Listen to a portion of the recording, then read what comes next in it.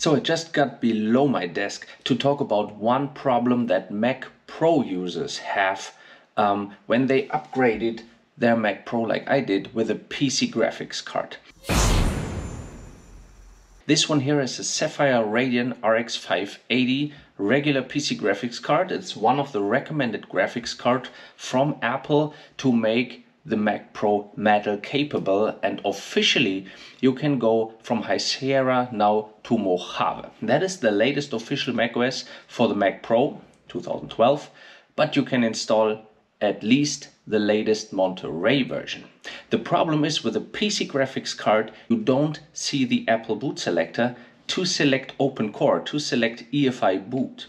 And I just like to give you a quick how-to how you can uh, install a brand new macOS and I have a brand new SSD here that is blank that is empty and how to get to OpenCore to start the installation.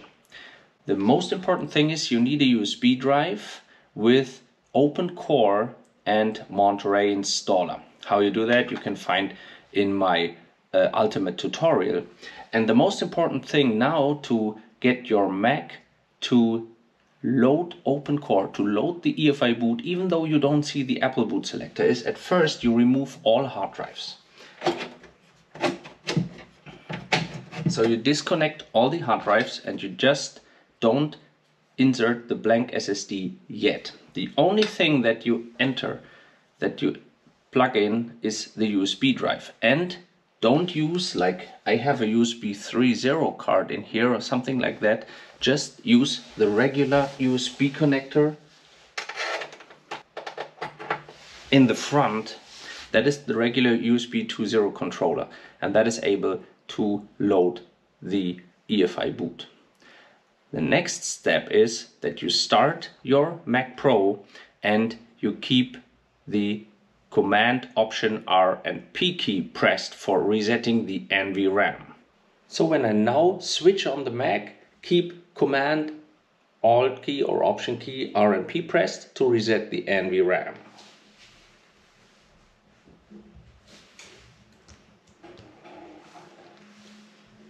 And then you should hear the first regular chime and after like 30 seconds there comes another chime with full volume and that indicates that NVRAM is reset. That was the regular chime. Keep the keys pressed. Now you hear the uh, fans revving up a little bit because it's reset again. There is the second loud chime. Now you can release the keys and just wait for OpenCore to show up. And there you see the OpenCore has loaded. You see the version number in the very far right corner. And you see install macOS Monterey, that is the installer of the USB drive. But we have to switch it off because we have to now plug in the empty SSD, otherwise there's nothing to install it on. So we go down here, here is the blank SSD.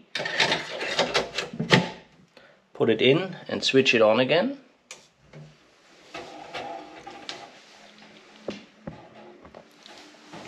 And now there's no need to do anything. It has just remembered the last boot option, that is EFI boot. There here's a chime, full volume, because the NVRAM was reset. That remains until you start the installer.